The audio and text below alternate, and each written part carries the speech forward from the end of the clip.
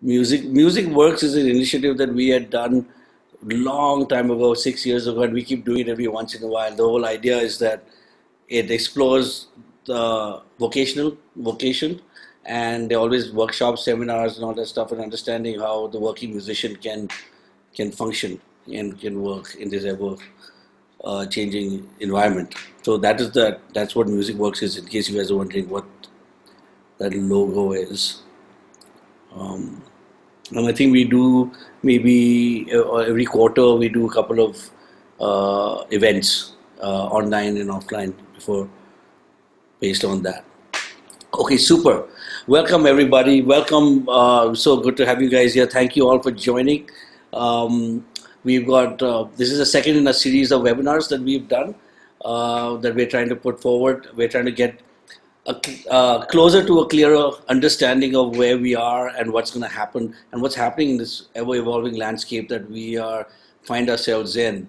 Uh, today we are talking about the adaptive performer. So last time we did a series on production, music production, composition, and in this new day and age, what happens, what can we do? Today we're talking about performance, and we are incredibly lucky and incredibly honored to have the guests that we have right now with us, who are live with us right now. Uh, I'm going to be introducing them in about uh, a minute or so.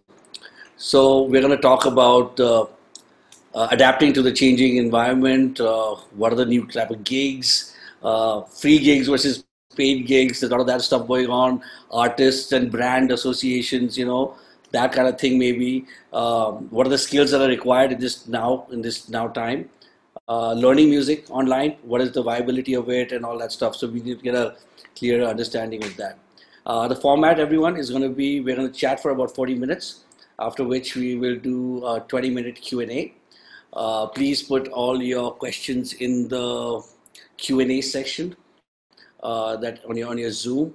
Um, and maybe you can mention the name of the panelist that you want to ask the question to with your question I do recommend that you wait for a while uh, until you ask for all your questions because a lot of them will get answered as we chat, you know, as we go through. But feel free to put all your questions, guys, uh, and uh, we will try to get to them as much as we can in the in the in the Q and A section.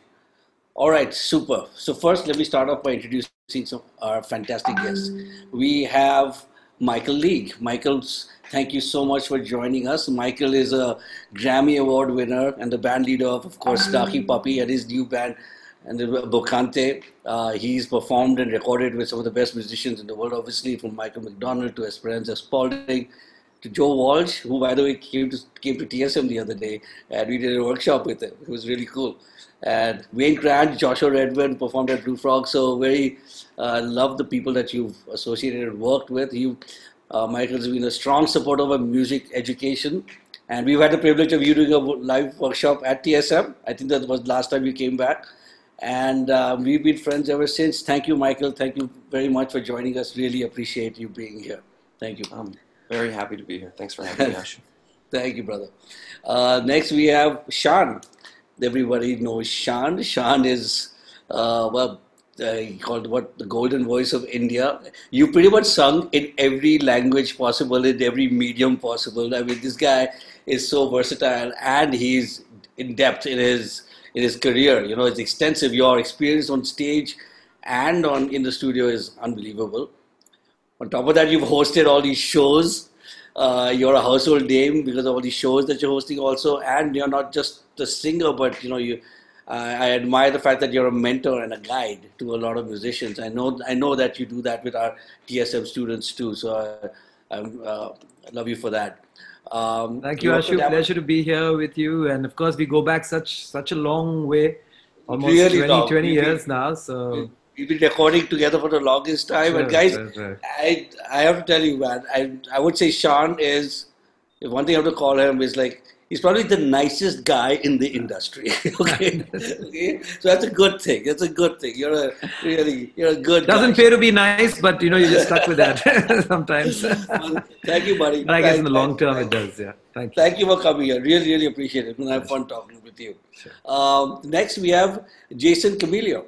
Jason. Now, Jason is a very interesting guy. He is uh, he's a composer, he's an arranger, he's a songwriter, he's a trombonist, a guitarist, a producer, and he's a developer of global education programs and partnerships. You know, as his role as the assistant vice president of global initiatives at Berklee, he develops opportunities for skilled, talented, and motivated performing artists to reach their career goals. And that's going to be very insightful for us to understand from his experience.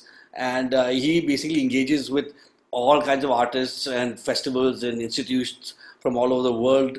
And Jason, it's a real honor and privilege to have you here. Thank you so much, brother. Thank you for coming. Thank you for having me. This is fantastic to be with everybody. Thanks. Thank you so much. And uh, last but not least is our friend Ankur Tewari. Ankur, uh, what can I say about him? He's an indie artist, a singer songwriter, composer, performer, music supervisor, and a poet. Uh, you all will know his he was instrumental, I think, in uh, you know, making Gully Boy the big success that he is that it was because all the music that he kind of shaped and put into there. He's also a man after my own heart with his uh, passionate activism and he uses, which he uses his music for and is a strong proponent according to me of all things that are good in this world. Ankur, you're a good man and we're very happy to have you here. He's also a teacher uh, he's doing a course on lyric writing with us. And we're not only friends, but we also recently collaborated on some projects together, composing music. So it's so much fun to have you here, Ankur. Thank you thank, so much. Thank you so much, and I'm honored to be in such amazing company today uh, with oh, it's, it's all of you. It's amazing. Thank you for inviting me. Thank you. And uh, just in case, uh, I, mean, I guess, by the way, I should introduce myself. My name is Ashu. I am a composer, producer. I've been producing music for the last 25 years or so, doing lots of TV commercials and ads and, and soundtracks. Uh, I've also performed a bit uh, from festivals like Sula Festival to South by Southwest. I was also the co-founder of uh, a couple of venues, the Blue Frog, uh, the Quarter. We programmed the Royal Opera House for a while. And uh, I'm the co-founder of the True School of Music, along with my co-founder, Mr. Nitin Chandy. And I also teach at True School. I teach the music composition.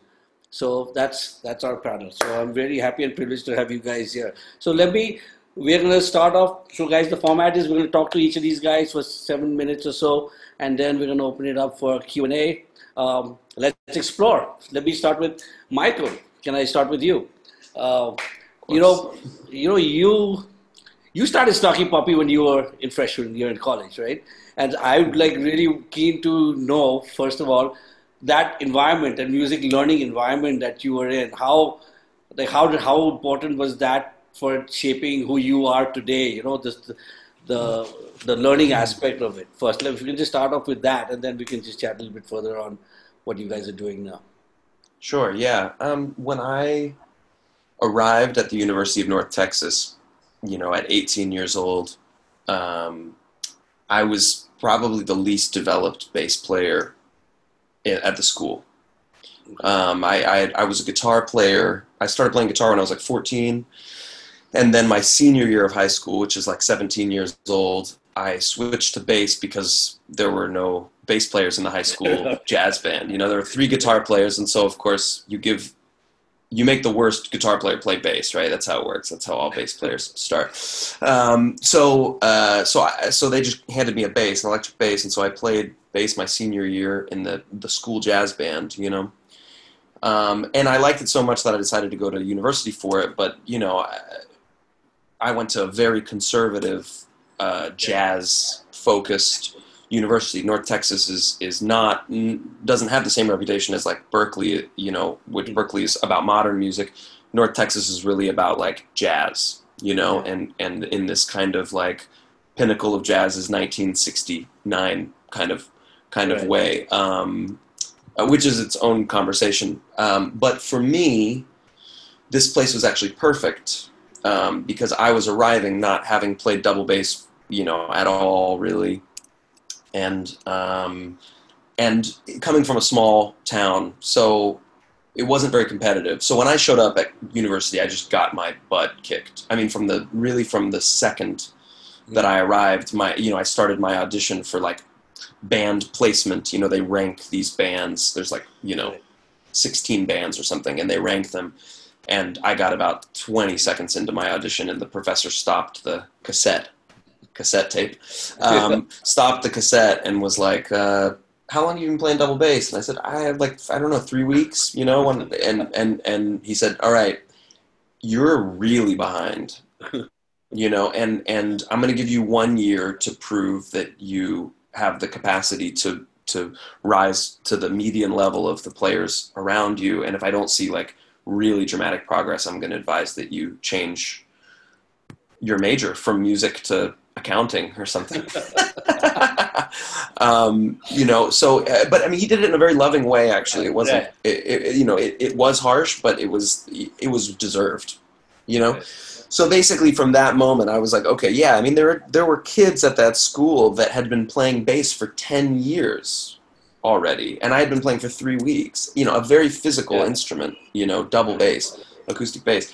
So i just practiced you know 10 hours a day for four years you know and i wasn't alone in that. I mean really the, the most of the students at the school the ones that survived those four years were in you know either practicing or playing between 10 and 16 or 17 hours a day you know and and um, and that's why I always whenever I, I speak at schools I, I, I make I make a point to say you know if you're in university as a music student you know take advantage of those years because they're the only it's the only period of your life in which your primary task, your primary responsibility is to wake up in the morning and and suck less at music. Yeah. You know what I mean? And like yeah. like it's the only time in your life that that is really your get your your responsibility like a banker goes to work and tries not to screw up people's money. You're in university your job is to get better every day. And when you leave university that practice time will not be there. Yeah. That that you know hour and a half checking out music history or that two hours checking out 19th century counterpoint or whatever it is that you complain about when you're in university you won't have that time.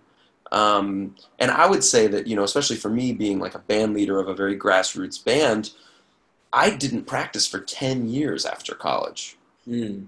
I was just sending emails making phone calls trying to get a clinic at the true school of music you know, trying to do whatever I can to survive and to provide for my band that I've only been able to start practicing over the last like three years, and it's my favorite thing in the world.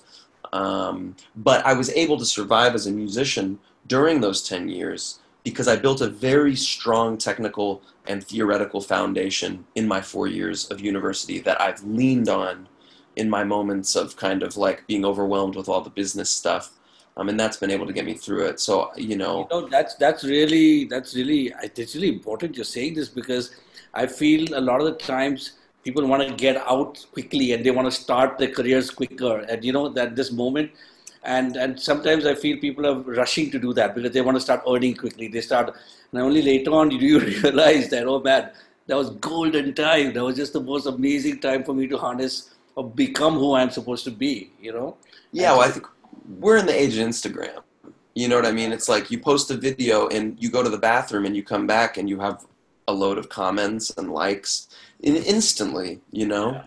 and um, while this I think is a is a is an incredibly powerful tool, at the same time I think it's created a culture, especially among youth, of like notice me, right. you know, like like establishing their brand really before before their foundation of exactly. musicianship and musicality. And what that does is it makes you um, it makes it very easy for you to be a very temporary artist.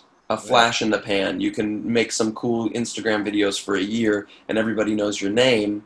But yeah. then when, when the world moves on to the next trend, if you don't have your fundamental musicianship together, if you don't have versatility, if you're not able to adapt, you know, speaking of the adaptive musician, then you're really setting up a very dangerous kind of straw house to live in for the rest of your life. And often when I'm giving a master class, you know, I'll spend 90 minutes or two hours talking about concept and philosophy and deep musical ideas, and then we'll transition to have the students play. And then I find like, wow, you know, these students are at such a low level actually mm-hmm. that like maybe I should have spent that hour and a half really just ironing out you know fundamental elements of music like having a command over rhythm having the ability to hear something in your head and play it Um, and uh, although I, I, I don't want to imply that it's ever too early to think about philosophy and concept. I believe that that at any moment in your musical career, you should be listening to interviews by David Bowie and Miles Davis and, and musical philosophers and taking that stuff in. But I, what I'm saying is that now, more than 10 years ago, when I'm teaching, I notice that there are there's more deficiency in just command over music yeah. general musicianship and more of a focus on establishing yourself easy. as I think social media and everything has made, made, made you become easily attracted. You can get your fans really quickly. And you're right, the longev- longevity is what's the main issue with with not having a solid foundation. So, you know, now, see now, in like the the guys who are in your in your view, in your world of musicians that you hang out with and what's happening in now post COVID or in this in this era, how do you see that adaptability role coming into play and around you based on what people's previous experiences have been you know from education to whatever. Do you do you can you can you give some insight on what you see around you right now? As, as far as what people are doing with their own you know are they going sure. back to study? Are they upskilling? Are they what are they what are they what's what's going on with the with the boys around you and girls around you? Well i mean what do i what i see is a lot of fear and uncertainty you know i mean and that and that this is like top to bottom.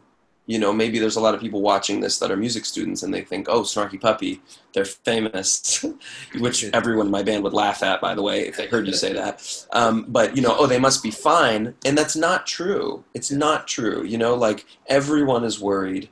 Everyone is concerned. And everyone is seeking um, solutions you know. But i think because it's such an uncertain time this really kind of triggers our creativity and we have to like put that into high gear to try to seek creative and and timely uh, solutions. You know i've seen a lot of people going into go, uh, doing more teaching. I mean snarky puppy's always done a lot of teaching but we started like a we were doing like a seven night a week masterclass series with a different member of the band teaching a different right. masterclass on a different topic. We did that for months, and then we started inviting other artists in yeah. um, to join us, and that was really cool. Uh, and and and we're you know now we're trying to create a, a digital platform for exclusive content um, from you know whether it's literature demos unreleased videos whatever you know that artists can can kind of create some kind of income from. This is a beast. It's a big project, and, and, and we're working on that with a partner. Um, so I see a lot of people doing that kind of thing. Um, but you were talking about Ankur as like a um, as an activist, and I think that the really interesting. I'm I'm sorry. I know we've gone way over my five to seven minutes. No, no, but no, I, I, think I think the, the, the, the interesting convergence of COVID shutting down the music industry plus um, the uh, the situation in terms of, of racial inequality and tension in my country, which has spread out to, to, to many other countries, um, you know, has created a, a kind of perfect storm in a way um, that is um, reestablishing the artist's role as a voice for the unheard. Yeah, yeah. And as uh, and and and and our responsibility, I would say, to speak out against um, injustice, unequivocal injustice. Not you know talking about advocating a political can for a political candidate, but really this is a thing that is just humanly wrong, and we need to talk about it. And and and, and I've noticed a lot of artists kind of being like, well, I'm not making any, any money anyway, so yeah. I might as well make a difference. And I think that actually it's almost a good thing in that way that, that COVID and the racial thing have, have corresponded because people have more free time, they've been more reflective, more emotionally vulnerable, and, and we're seeing artists kind of re retaking that position in right. society as a voice um, uh, against a lot of artists flourish in this in this space because you know what it's a there's a it's a it's very real what they're singing about what they're talking about is very real because it's this is the human impact of this whole thing is is very real. So that means the art i'm almost feeling is becoming very real you know what i mean? So it's it's it's almost as if this i feel this has kind of become like this level playing ground for someone who's authentic can mm-hmm. as can possibly shine through you know and maybe there's an opportunity for people to be able to express themselves in a in a in a true authentic way. And i think there are there's a lot of opportunity for that absolutely yeah, yeah. so do you, you do a lot of um, online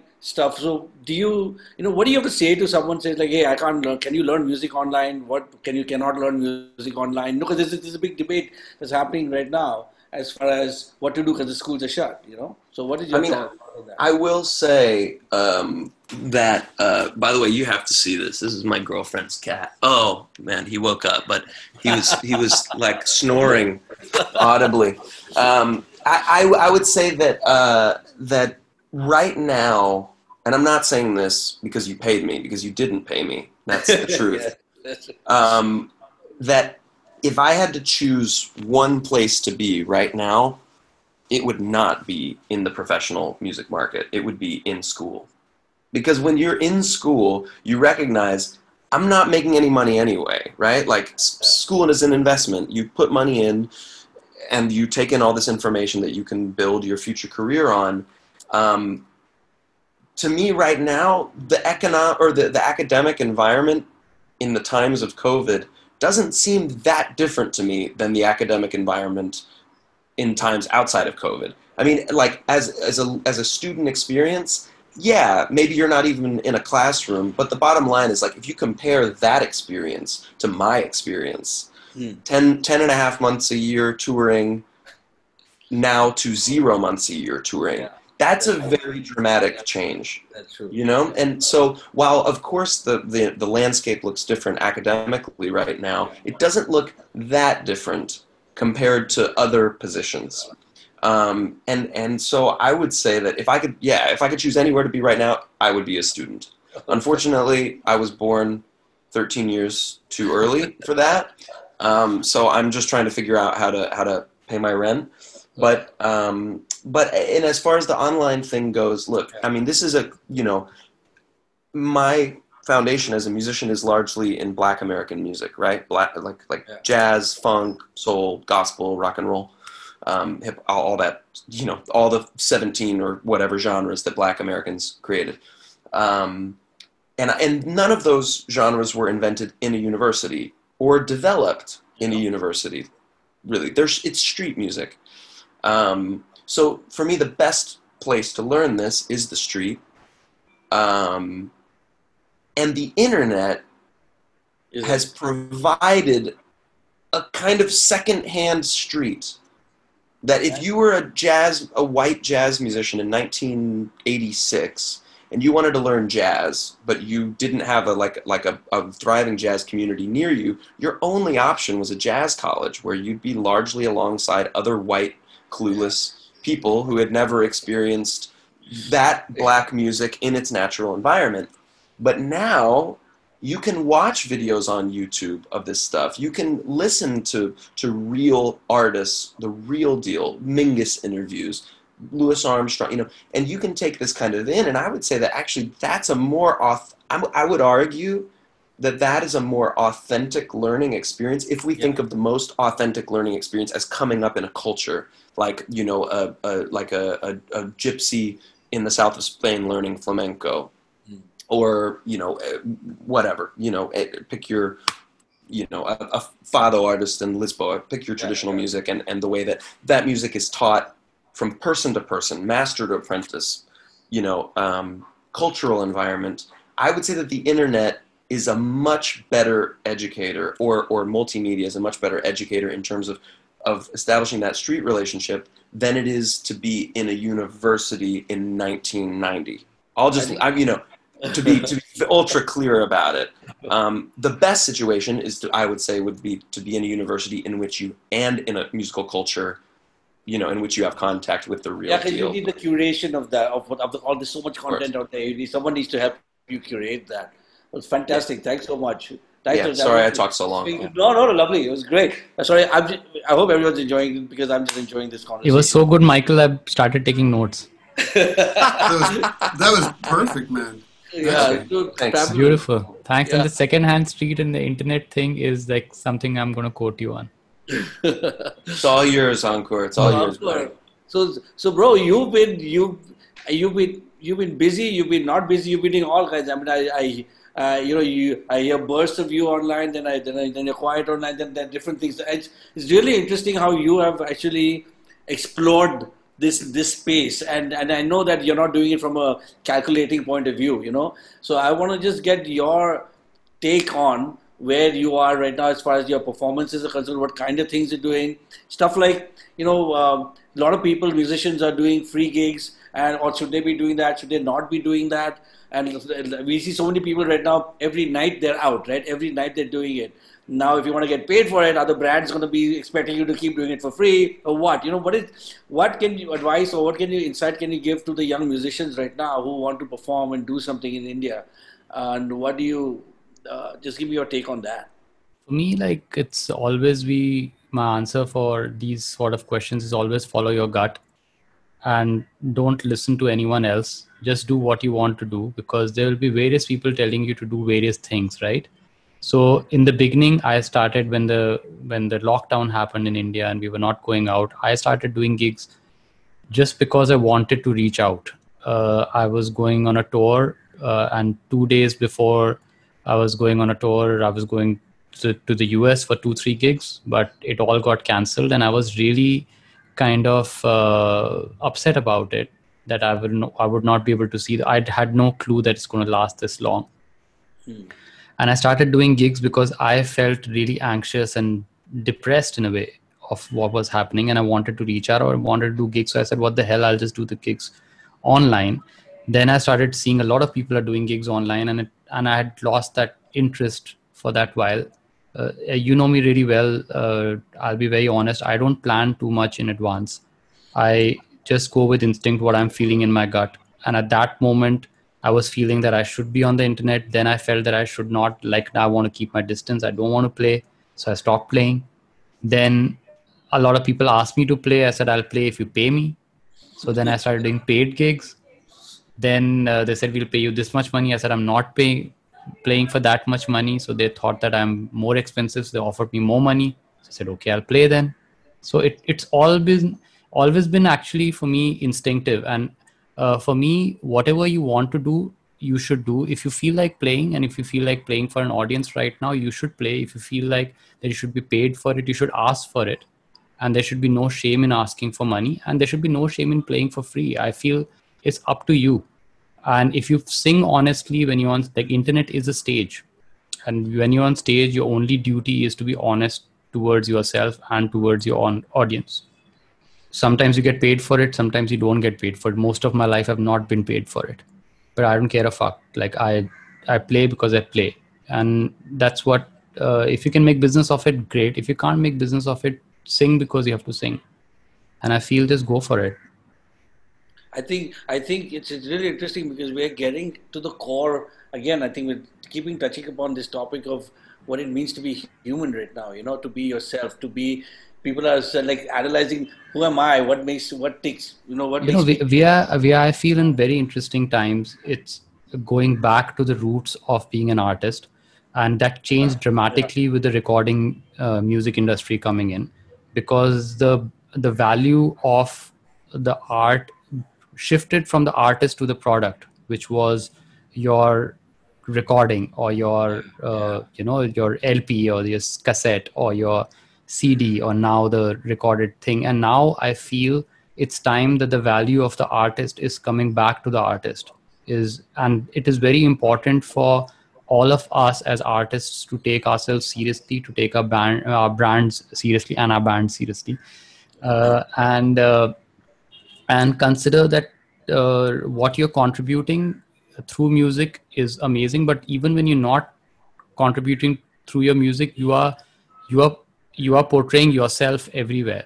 You're being honest with your music and even when you're not playing music you're being honest. And i feel it's very important. And sometimes you get paid like i get paid sometimes for not singing.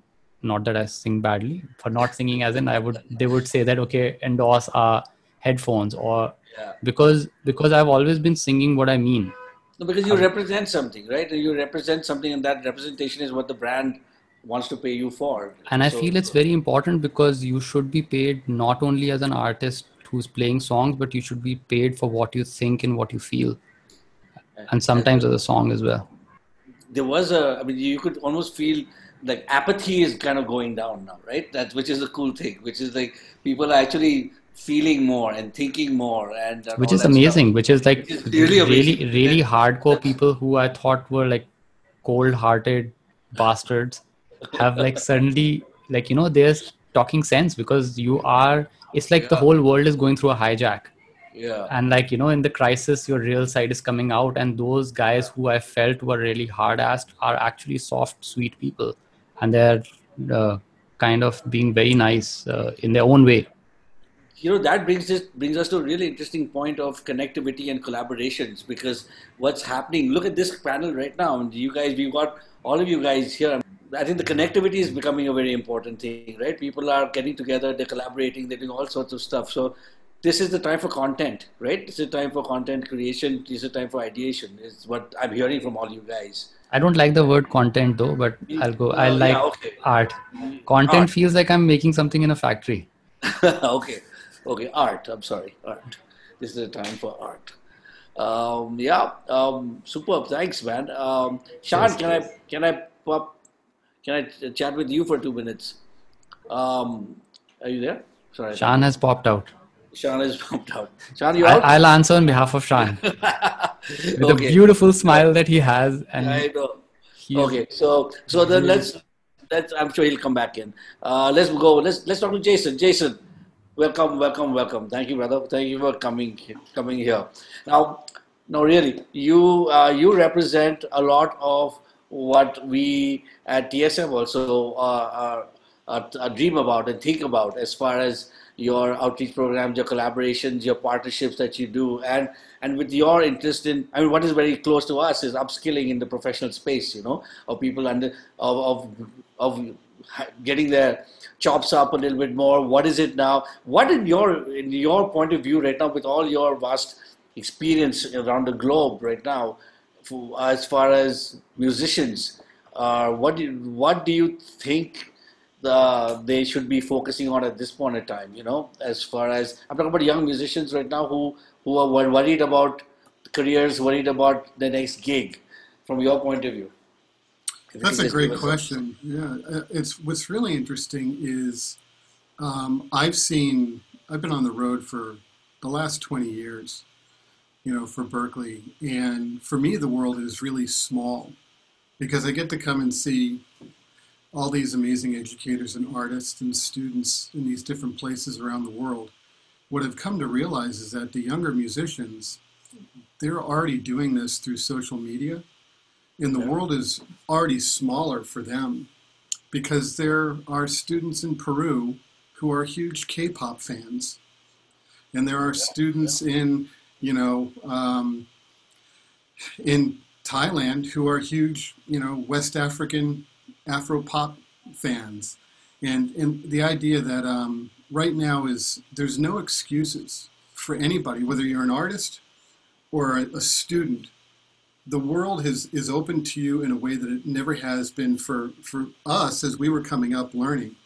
Um, there's no there's no excuses to not learn, to not take advantage of the information that's out there, and uh, I think it's really a matter of each student taking a look at what their strengths are, what they do well, and then looking at those things that they would they've always wanted to learn that they're missing, and take the opportunity. You know, build a schedule, come up with a routine that allows you to go in and whether it's joining a session like this and being able to have the opportunity to speak with these incredible artists and get their advice and their guidance, or to do that self-learning. Um, now's the time. I, I went to school and studied trombone and writing for big bands, which was wonderful because this is something that's near and dear. I love this music, grew up on it, but I knew very early on that I needed to build my skills. So I was an early adopter to mm-hmm. online learning. You know, with Berklee Online, with um, with whatever resources sources were out there. Anybody that was teaching online, whether it was YouTube or you know whatever that, that was there, I was getting access to it because if I'm sitting in a hotel room, you know, I could sit there and try and watch hours and hours of CNN, or I can shed, I can work on something.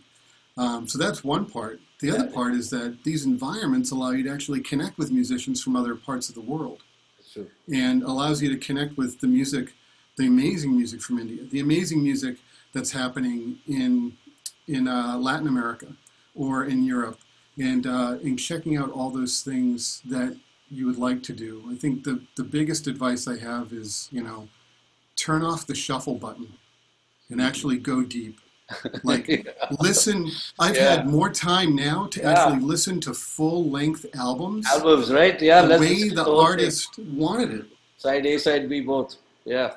Take the time and, and go in and, and like read about the artist, read about who influenced that artist and why they, you know, what their philosophy is, how they came to what they're doing. That that learning is as important as shedding your technical ability.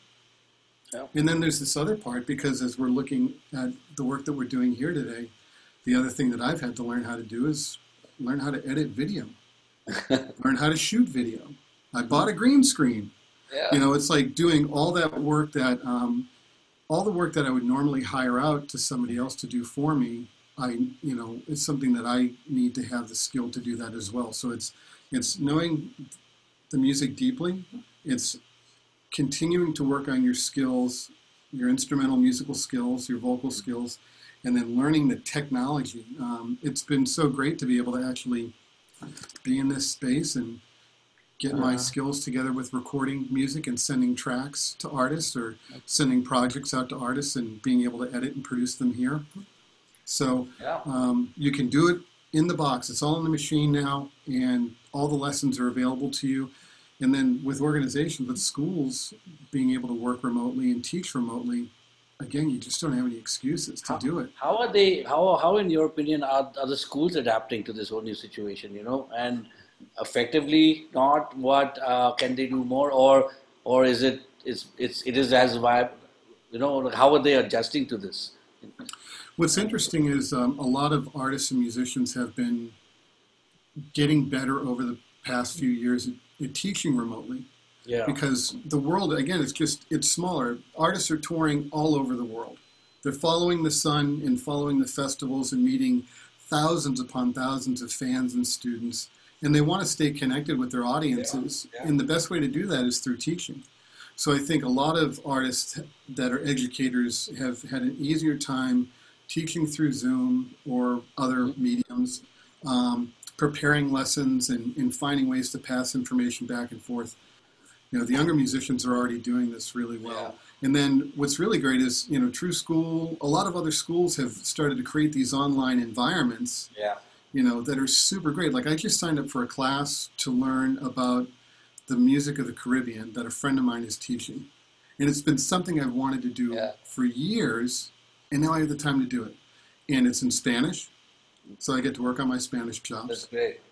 And I get to see how they built this. This so it's the history of the music, the, the history of the dance, the history of yeah. how this all became you know, very, very popular uh, music and salsa and how it can, you know, has evolved into contemporary um, Latin pop music. And this is like, you know, so there are, the, the adaptation has been going, uh, you know, it's, it's something where we, the way we talk about it a lot of times at Berklee is like, if, if COVID-19 hadn't happened, the idea of doing this, working together like this, or teaching online would be that thing that we would wait for.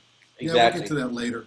But yeah, it's exactly. it's forced us to like move. I love it. I, that's what I love about this. You know what? What like you know we're doing. Uh, we're doing. Ankur is actually one of them who's doing it with us right now. I mean, we're doing this whole artist series of courses, right? And the whole idea was that the school will enable uh, the, uh, the, the academic part of an artist. So what makes that artist an artist? You know, what makes them themselves? And it's so much fun because I've been sitting working with each of these artists and getting into their minds and then making courses out of their minds, you know, which is which is great. Which which are things which which I know people are interested in doing. You know, like why why is he he why is she she? Um, so this is a new opportunities and new ways of learning new things. I mean, that's what I find exciting, and I think I. Um, do you think uh, we have a long way to go, or should people be uh, like are we so a lot of people might think we're still experimenting with education you know when we are no, i think we, we, have to, we have to keep experimenting yeah. We have to keep doing this. Just in our nature as artists to be creative, to to continually to flip this and yeah. try and find new ways. Like we've been, you know, we're trying to play online, which a lot of artists are trying to do. And we know that the internet, the technology technically doesn't allow for it. And we've tried all the products, audio movers, JamKazam. Yeah, we're waiting for that to happen. yeah. But we're doing it with uh, Jamtaba and with Ninjam. And uh, we're working with the software developer who's an incredible Brazilian pianist. And we do jam sessions online. And it's, it's a little weird, it's a little clunky, but we know that as as we keep working on this, it's just like practicing it'll, it. It'll happen. It'll happen. It'll happen. I'm pretty sure it's going to happen soon, sooner than we know it. You know, where we're going to suddenly it's just going to open up for everything, and it's gonna it's gonna become normalized in some time soon. Uh, yeah, and the thing is that the risk is to not make it normal. Because yeah. artists never do. The artists, you just like keep leaning into it and keep going forward and challenging yourself as a teacher and as a student. Yeah. Shaan, thanks, Jason. We'll go to Shaan real quick. Shaan, how are you, buddy? You're back. Good to have you back. We were just, hi, we, hi, hi. We were just talking about the artists and uh, teaching, and I believe you're doing an online course, right? You you have done one, or you you, you you? Uh, no, actually, I had put up like a masterclass sort of a thing, but that was much ah. before the before the before COVID the, yeah. situation, of course. Yeah, and, yeah, uh, yeah. So yeah, that was there, and uh, but besides that, of course, like you mentioned, you know, being there, uh, doing these reality shows and judging a lot of the youngsters. So you, yeah. you know, you you learn while you teach, kind of a situation. Because so it's interesting, but uh, I still don't think of myself as a teacher at all. Probably, I learned so much you today know, you, to everyone you, else. You've been you've been really good at, I guess, recognizing talent and understanding. You know, you you you had a lot of experience within that that space, which is besides your own talent, but you're talking about you got your kids right now who are who are, who are I don't know what they're going to be little uh, little Shaan Junior singers or uh, yeah yeah yeah they're going to chart their own uh, careers and their own identity and but in terms of recognizing talent, like you know the name of the yeah. Chat today is adaptive uh, performer. Yeah. So you know that too gets very you know it's so dynamic with changing styles, changing uh, societies, changing um, sort of uh, uh, even the audiences are becoming so different. So yeah. what I would think is, oh, this is the perfect timbre, this is the perfect voice, and yes, you know, you're, you're there. You it it changes. There's a new trend, there's a new voice, and so so more than actually identifying the talent, um, what we managed to do between me and my wife, who started this wonderful company called Happydemic, so we yeah, created a space for yeah. So you know, while you have a lot of portals which are actually you know allowing you to place your music, there are streaming sites, there is you know YouTube-like uh, spaces where you can put out your music. Uh, when it comes to live music, or when it comes to basically earning a livelihood, it's very difficult for a lot of these uh, talented musicians, young musicians, unless they go live, unless they start gigging, unless they start you know performing where people pay them. So that's what we try to create through Happydemic, this company where, you know, and, you know, when you think of that, then you generally want to play at bars or at restaurants. But, you know, while that's a very cool culture in the West and many other countries, in India, it doesn't kind of really work that well, you know, because, you know, they just pick up the guy who's the cheapest. Doesn't matter how it comes through. And, uh, you know, sometimes you get paid, sometimes you get paid in beers, you get paid in coffees. So here you have an, you know, a professional setup that actually gets you corporate gigs uh, they curate the whole show for you so that you know you know exactly what is expected of you when you go there. So yeah. that's helped a lot of uh, yeah, and it's like a and now what they've managed to do since coming quickly to I know what the next question is how do you how do you get live into the COVID situation now? Yeah. So so what they've gone is they've kind of gone now more. They always started. They wanted to start off as a tech company. So now um, I'm saying they because I'm more the outside uh, when it, I'm, I'm just uh, you know happy to be a part of this uh, thing. But the point is that now with uh, you know a lot of guys are doing e-performances, so to say, as in you know the online performances which are personal, so they can actually so, so, go there and. So uh, like uh, I will. I will hire you to get me a gig for my own private party, which is online, right? Perfect. It's like a music tech. Uh, it's a music tech company. So, right. so online, whether it's uh, you know, even if it's an individual, they also like have something like a like yeah, even for one person, it's as cheap. You can just you know yeah. gift it to a friend on his or her birthday. So yeah. things like that. And besides that, of course, uh, you know when you uh, you know over the years, so this whole thing was created. So there were a lot of these people who come in from these reality shows, perform really well, and then you know they settle into a city. They have to pay their bills, and they you know they're stuck with this popularity thing, and they have no yeah. money to deal with it. Right. So, uh, so this kind of gets them something to you know sustain themselves until they hit big time. So, so are you seeing that happening right now? Are you seeing people actually booking a lot online right now? Because I, I, uh, you know, she hasn't asked me for any money for a long time, so I'm sure her company is doing all right. okay, good. And they're paying their they're paying their rents and they're paying the salaries to all the employees. So, yes. so I'm sure it's only when the artist makes the money will the company make the money because you know they have a minuscule percentage of what the artist is and getting. What about so, like brands and all? Are they getting involved in this? I think here, honestly, honestly, you know, we are trying to help the artist at a, at a point where, uh, you know, it's in a very, very nascent stage. Right. So once you get to that stage, you're going to have these managers who are going to swoop in and they're going to, you know, get their deal out of you. And that's yeah. when all these other things will happen. But this is at such a primal, such a primary stage that no one wants to manage you. If, if an artist is being paid 5,000 bucks, what's the manager going to do, you right. know, with that artist? So right. we want to get them. And a lot of them are moved from that level to a much uh, to a higher level now, and you know they're so I'm sure. And once they reach that point, we're happy to let them fly. We're happy to you know you know there's no contract that holds them back. There's nothing that you know there's nothing exploitative about this. You know over the years that I've been uh, uh, been a part of this whole you know seeing these kids, uh, it's just something that we do for them. yeah. So all you young musicians out there listening, please get in touch with Shaan, get in touch with Happydemic, try and get some gigs out of this. Sure, sure. I mean, there's an ex- there's an entry point. There's an entry point which has to be completely just off amateur, and an exit yeah. point when you're really, you know, ready to take on.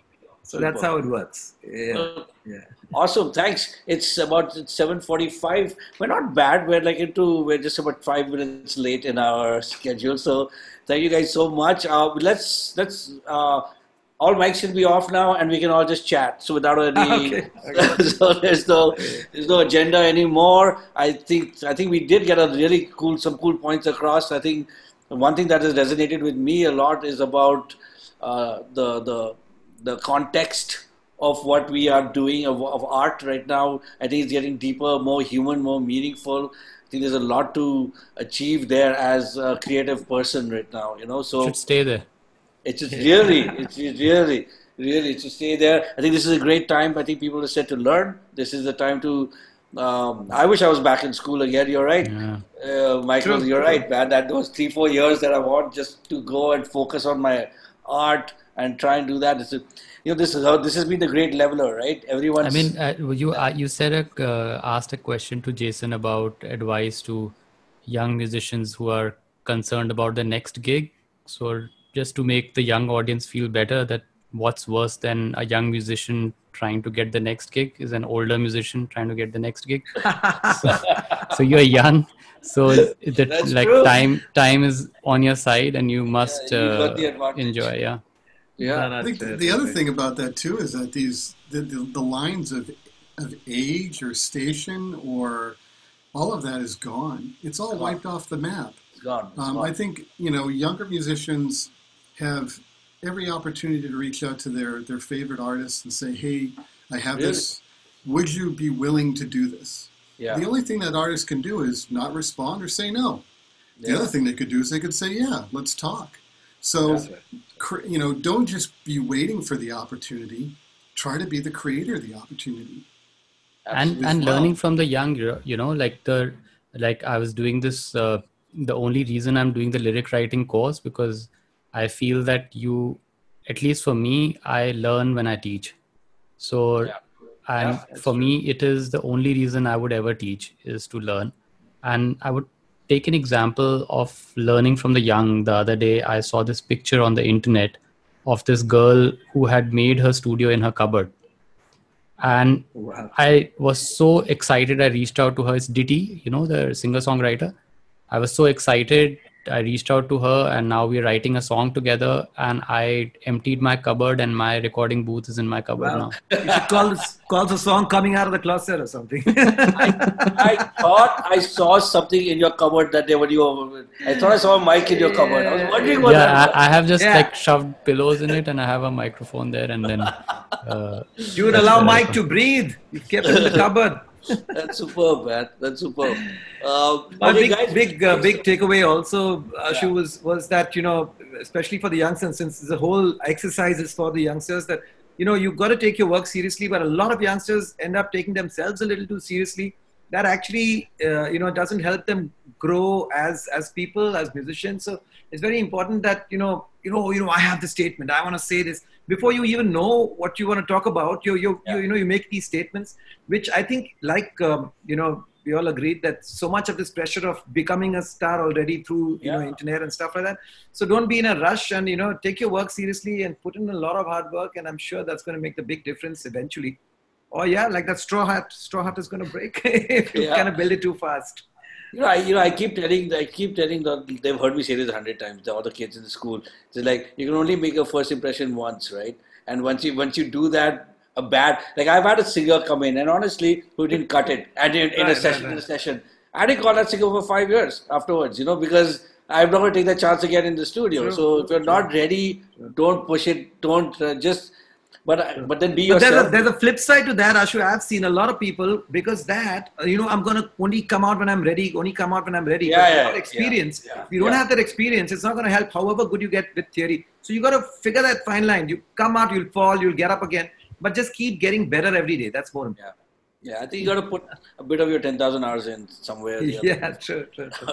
like Michael well, guys, did. Michael did. Yeah, yeah, you know, some sometimes if you get it naturally, sometimes when you get things naturally, it's actually a disadvantage. Yeah. You know, because I had this whole, you know, I have these three generations of singers. I always, as a kid, you grow up thinking, right. oh, you know what, I'm meant to sing. I have it all. I never worked too hard about you guys it. Were, you and, guys were singing since you were what, like six, seven? How old were you? Yeah, I, we cut. I, I did my first. Uh, studio not, uh, yeah, four four years. Four years. Four years. Four. I was in front of a mic. yeah. So so it came to me as naturally as anything. So I never put in that many you know manas in in working hard. Yeah. Now I sit and do my riyaz every morning because I'm feeling like you know with age you're going to lose that voice. Yeah. So keep it yeah. young. So now I'm pushing it.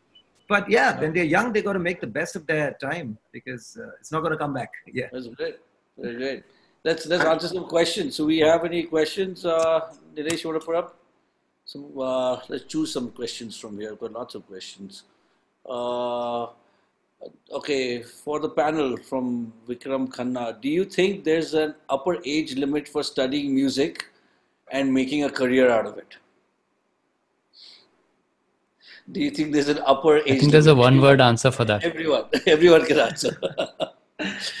I, I, feel that, I, I honestly feel there is a upper age if you're already practicing it from a young. You, you can't just wake up one day and say that you know what? I can make it. So what if i'm 60 or so what if i'm 40 so mm. you know you kind of yeah so upper age is no, like, here's, well, a, here's here's here's a, I have a question for that question. What is yeah. making it? Yeah that's a good question. That's a good question. what is making it? What is success you know, I, I, think that that's a that's a, really subjective thing, and um, I, you know, it's, and it's it's perilous for yeah. people that are just trying to express themselves. So yeah. I think if you want to create, go and create.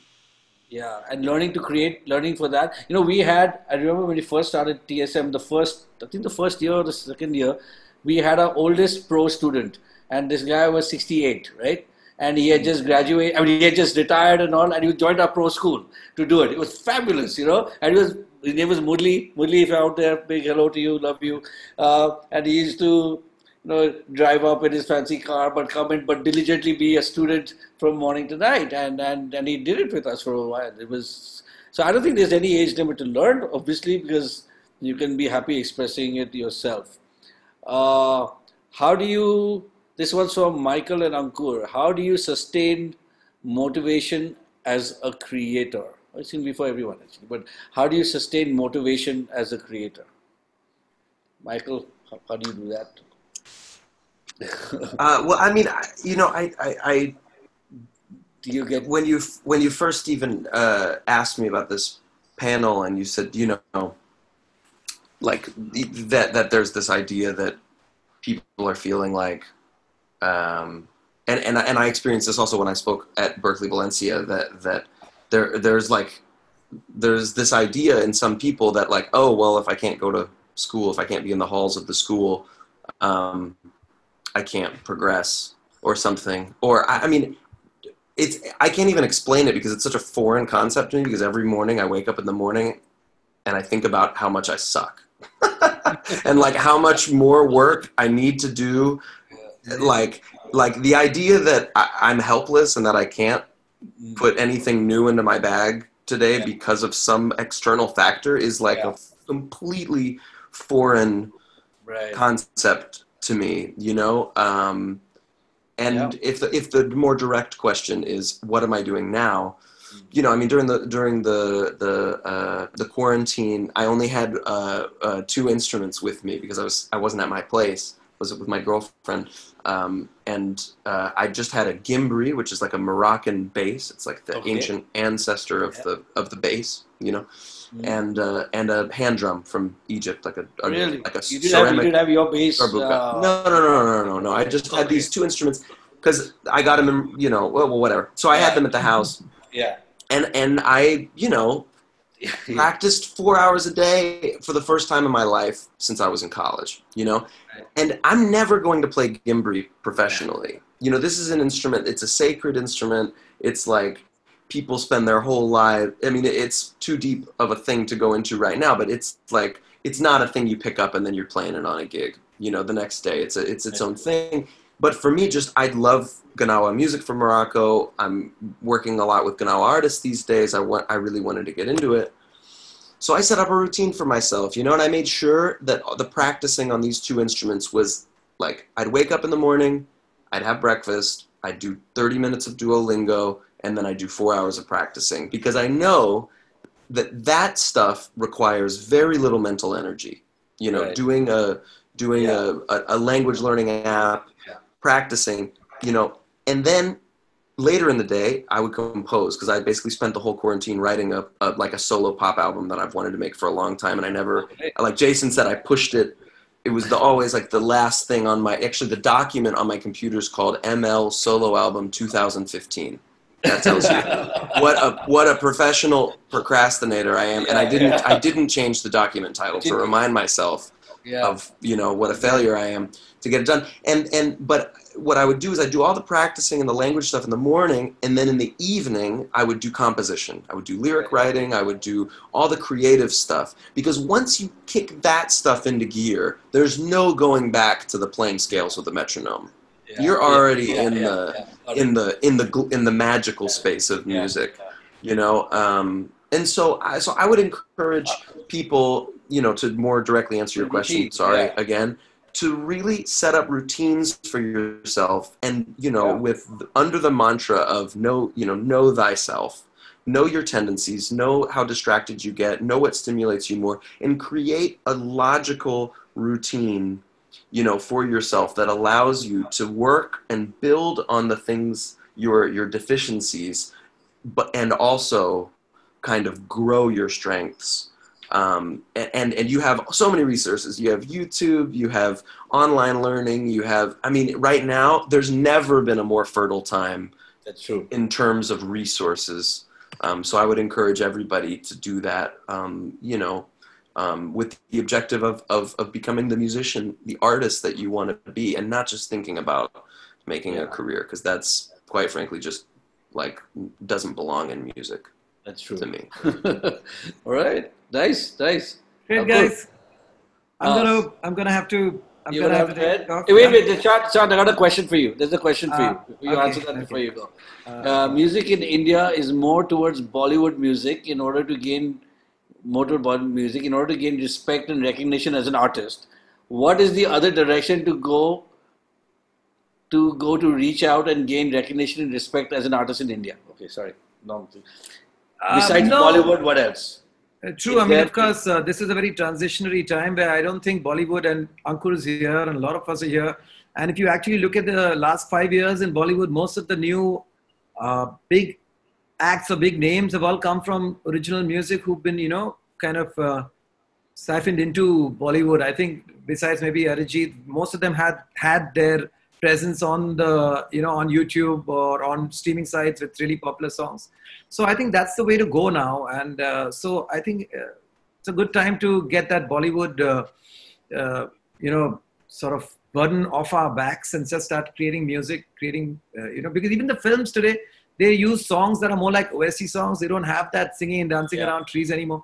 So a lot of the music is changing. A lot of the younger directors, producers, they are looking at songs from outside and just, you know, outsourcing them into their films. So I don't think one should uh, worry too much about getting respectability from Bollywood anyway, because most of the guys who are making it in Bollywood are also coming in from outside. So it's just a mindset that needs to change now. And actually, with all the OTT platforms, all the new stuff, content that's coming out, the whole focus and direction. Then, Ankur, you can just touch upon that a little bit if you Sure. want. Like you're a music supervisor who's supplying a lot of artists and musicians to all these all these uh, platforms, right? Yeah. So, what are they looking for? You know. I mean, for me, it's uh, kind of a blessing in disguise uh, because uh, of the way that the music had been structured in India. A lot of the old Bollywood songs are owned by labels who move very slowly and they ask for a lot of money. So that music doesn't work out. So, the one way that I can quickly make music available for the people is tap into the independent world which is what I've been doing for past two years. And there are so many young musicians who have not even released those songs, and they have been placed in shows, in movies. In uh, when we did the Gully Boy album, for instance, it's got 18 songs. When the when we started uh, working on the script, when Zoya, the director, was working on the script with Rima, and there were only three songs in the script.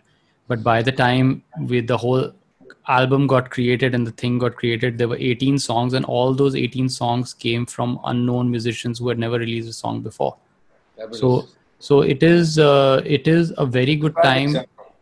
And just to add to what Ankur said, that uh, um, Ankur, correct me if I'm wrong, didn't you win like one of the major awards, uh, a Bollywood award for? yeah so Gully we won and that is So- for uh, we won uh, we That sweep the awards Yeah. this year Yeah. with uh, artists who were all independent who were pretty independent in the sense that they had not even released any music before True, true. So that very are- much answers the question.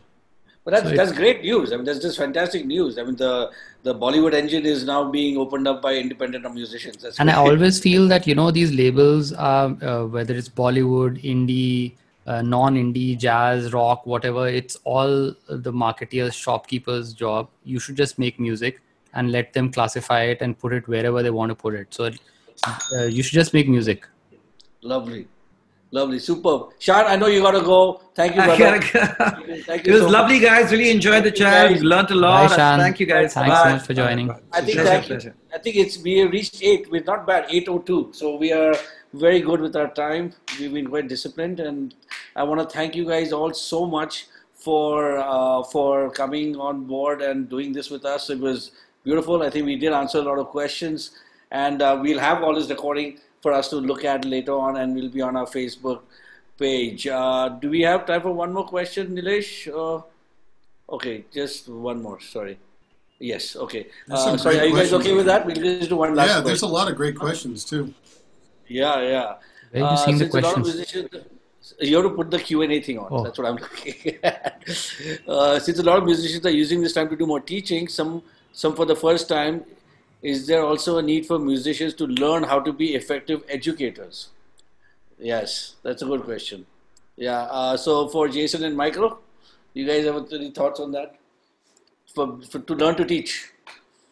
It's really interesting. Uh, you know, I, I think uh, all of us. One one of the best lessons I ever got was from my teacher Hal Crook, who's an incredible trombonist, and and it's the idea that he didn't teach me things about music, but he taught me how to critique myself and self-teach. So it's a really really funny concept, but the earlier in your experience that you learn to self-teach, the better. Um, there's a professor who that I studied with early on, Jack Peterson, incredible guitarist from North Texas, by the way. Um, he would record. He would. He, we we had cassette decks, and we recorded all of our practice, and he called it the Truth Machine. The Truth Machine never lies, whether you're playing in time, out of time, in tune, out of tune musically, not musically. Record at least part of your practice, even the most basic thing. If you're even playing scales um, with a metronome, or playing an etude, or playing a transcription, just record even three to five minutes of yourself on your phone and listen back. And be critical. Like check out what you're doing and like write down. Oh wow, I got to go back and you know, my phrasing is not happening, or you know, my range is not happening today, or my articulation's not happening, you know, whatever that is, and then problem solve it, break it down to like the, the on the molecular level of what's happening musically, and begin to fix it.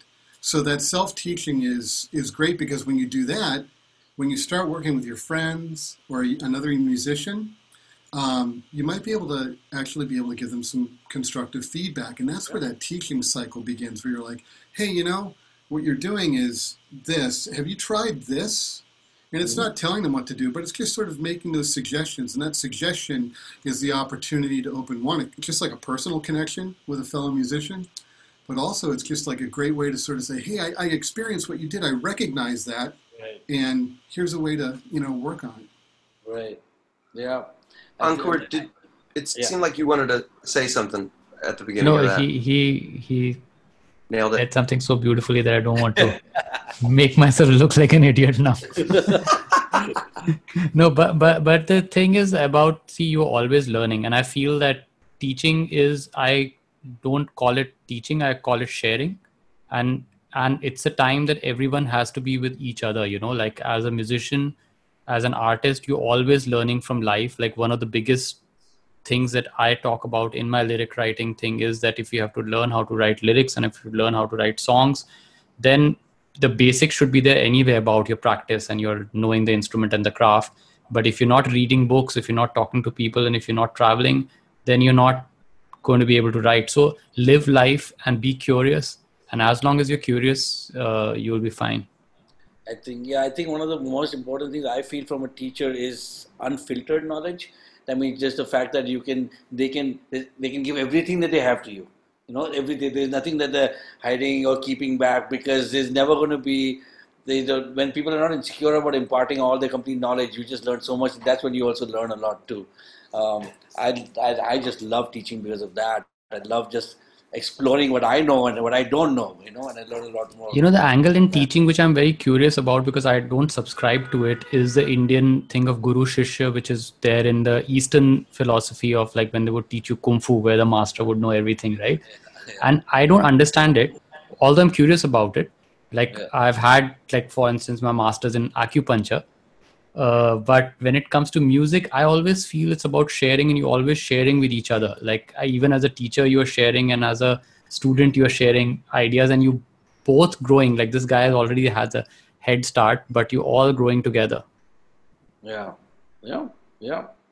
But how, how do you think uh, there's one more question here. How do you envision the live performance landscape as we open up? Especially in india with indie musicians already struggling to earn. How do you see the pandemic affecting musicians who are socio-economically disadvantaged. You know, all the live guys who are there's so many live musicians who are not getting a job right now. All the um, the t- times are tough, and there's no good news in India uh, for very long. We've got a crazy government who's just like I wouldn't say fucking it up, but it is fucking it up for us. But uh, uh, but the the point is that as this thing, uh, the panel is about adapting uh, I'll take an example of uh, my favorite cricketer. Sorry, Jason and Michael. Uh, Sachin Tendulkar. he's the greatest batsman ever. And the amazing thing about his career, which I love, is that there were at least four times in his career that he adapted and changed his style of batting. And right, he started playing when he was 16, and then by the time he was 20 he got this tennis elbow. So he changed his batting stance. Then he then he had a back problem. Then he changed his stance again. Then he so he adapted each and every time. And you as a musician you have to hustle and you have to survive. And there's no other way. You have to find a way. And no one can tell you what that way is but you will find it. Like it is when you know that you have to. I remember the days when I had no money and I would enter a room and I would say, I want that deal. I would make sure that I get that deal because if I don't get that deal, I won't have my rent yeah. to be paid. So, so you you have to uh, you have to work hard and you will find a way. Yeah, this. I mean, you need to. Yeah, sure, Michael. Go ahead. Yeah, I mean, I, you know, yeah, we're talking about adaptation, and just to just to add something to Ankur's statement there, which I think is very important. Um, the only thing you have to do to make a living making music is figure out how to get people to give you money for doing the thing that you love. That's it.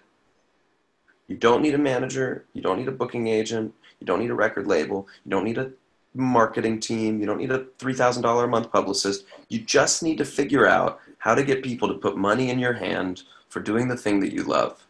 And I think that, um, you know, we delude ourselves thinking that we need to have this gigantic, yeah. typical yeah. infrastructure in place in order to survive. And yet we have examples of artists all around us that haven't done that thing. And we say, yeah, but that's because they're just special.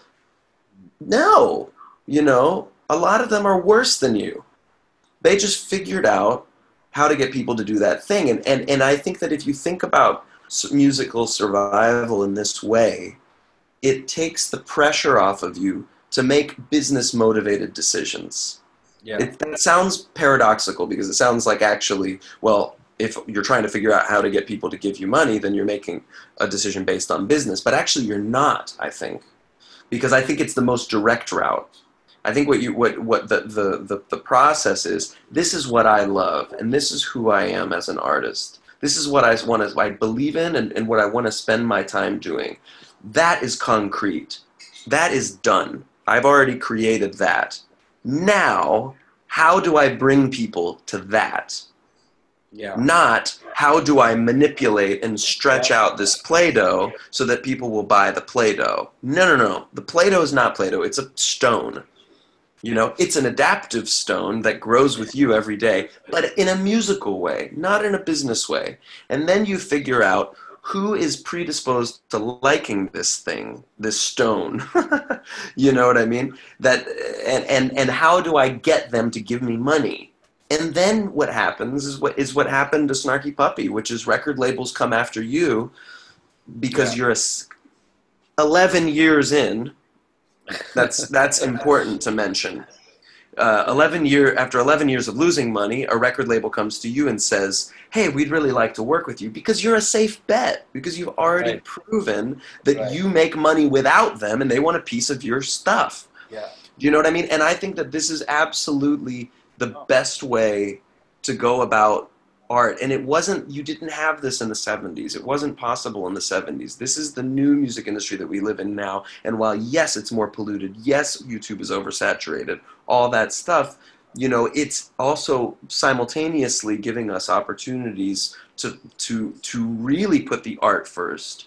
Um, because I have the ability to reach someone in Pune, you know what I mean, and I yeah. didn't without Universal 30 yeah. years ago.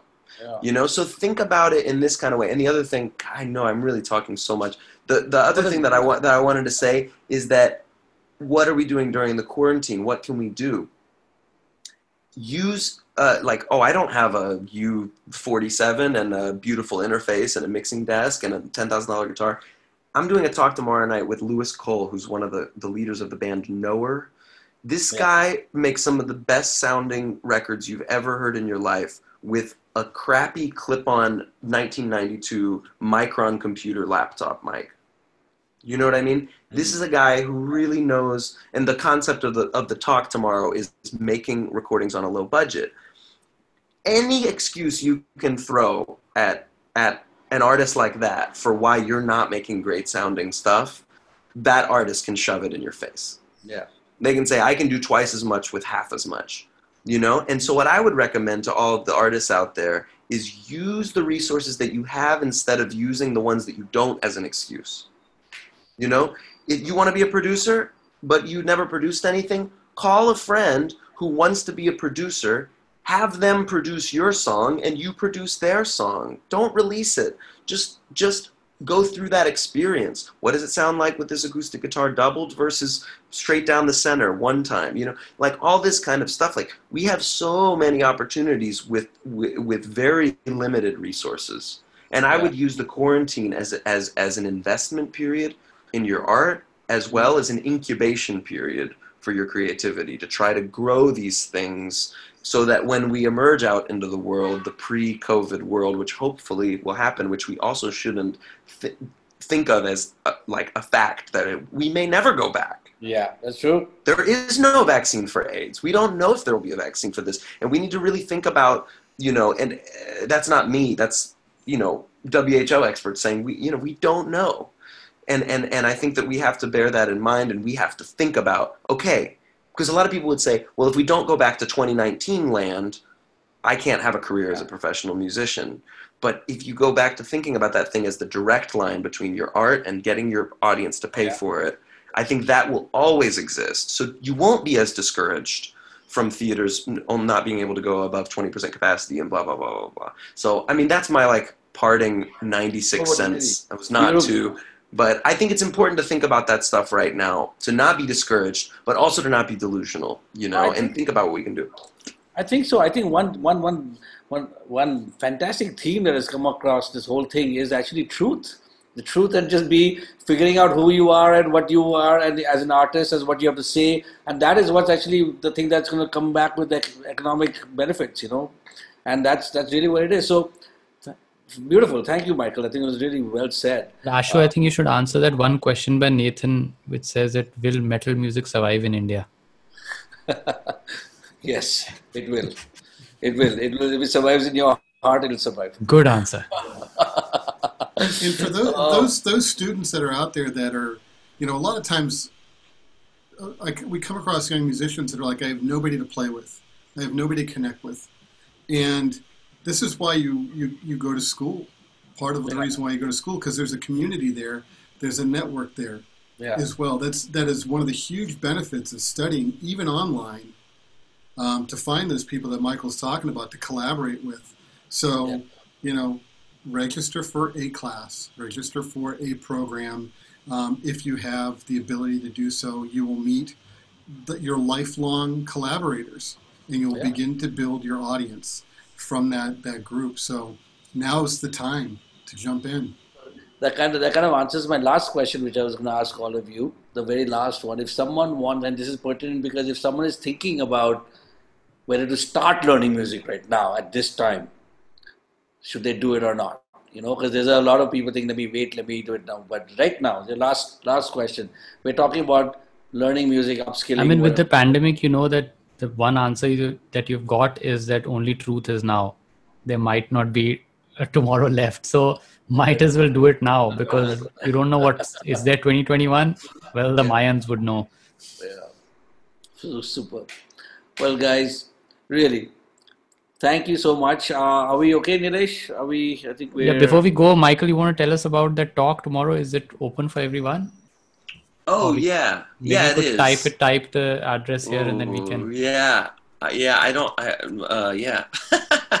so I, I was, wasn't prepared for a plug. Uh, it came up naturally. No, it's nice. Um, it's it's called uh, it's from this thing called Live from Our Living Rooms that that my friend Sirintip um, was host. She hosted this huge thing to raise money for out of work New York uh, jazz musicians, Mhm. um, and it is uh, tomorrow night.